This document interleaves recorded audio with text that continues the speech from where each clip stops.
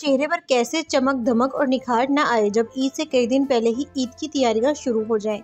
एमन खान, मिनाल खान, सबूर अली, इकरा अज़ीज़ और बहुत ही मशहूर अदाकाराएँ सैलून का रुख कर चुकी हैं। अस्सलाम जी, कैसे हैं आप सब? मैं हूँ सिलामीर और आप देख रहे हैं सिलामीर यूट्यूब चैनल। कोई भी अदाकारा हो या फिर उनके बच्चे, उन्होंने सैलून का रुख कर लिया है तो फिर ईद के दिन इनके चेहरों पर चमक दमक क्यों ना आए? क्यों इनके चेहरे ना निखरे और क्यों इनके हाथ पैर इतने खूबसूरत ना लगे, जब ईद से कई दिन पहले ही ईद की तैयारियाँ शुरू हो जाए? जहाँ अभी बाकी आवाम घर के कामों में ही मसरूफ होती है, वहीं पर हमारे अदाकारें कई दिन पहले ही ईद की तैयारियाँ करना शुरू हो जाती हैं।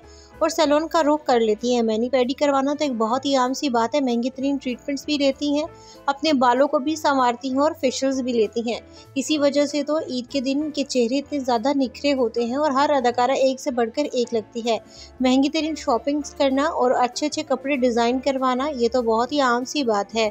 हमारी अदाकाराएँ अब ईद की तैयारियाँ बहुत ही जोशो खरोश से करती है। ना सिर्फ़ ईद का पहला दिन, बल्कि चाँद रात से तैयारी शुरू होती है तो ईद के कई दिन तक ये तैयारी चलती ही रहती है।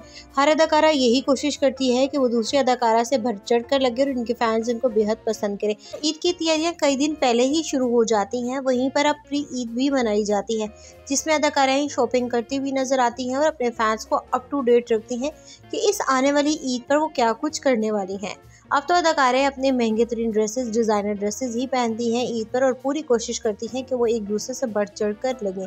यही वजह है कि बहुत सारी अदाकारें, बहनें भी ऐसी हैं जो कोशिश करती हैं कि एक दूसरे से ज़्यादा खूबसूरत लगे। यहाँ तक कि वो ईद पर भी सैलॉन से तैयार होना पसंद करती हैं या फिर अपने घर ही मेकअप आर्टिस्ट को बुला लेती हैं जो कि उनको प्रॉपर तरीके से तैयार करते हैं। उम्मीद करती हूँ कि ये वीडियो आपको पसंद आ रही हो कि वीडियो पसंद आ रही हो तो लाइक एंड शेयर ज़रूर कर दीजिएगा। साथ ही साथ चैनल को सब्सक्राइब करना नहीं भूलिएगा।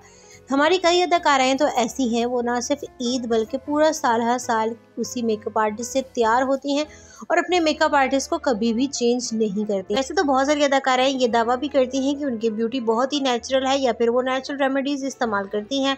लेकिन सच तो ये है कि अदाकाराएँ ईद हो या फिर कोई भी मौका हो सैलून का रुख ज़रूर करती हैं, जैसे कि आपने देखा भी, और सारा साल सैलून जा जाकर अपनी खूबसूरती को निखारती रहती हैं।